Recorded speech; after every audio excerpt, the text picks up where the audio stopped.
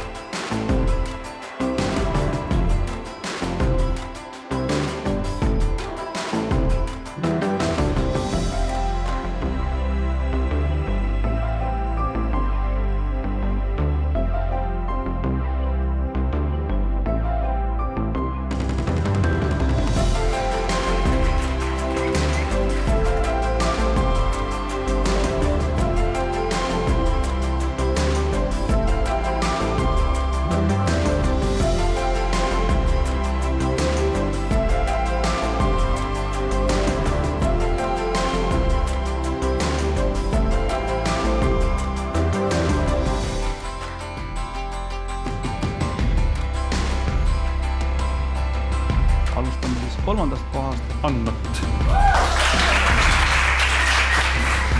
Läheme nüüd äh, teise koha juurde, et Rinkart siis.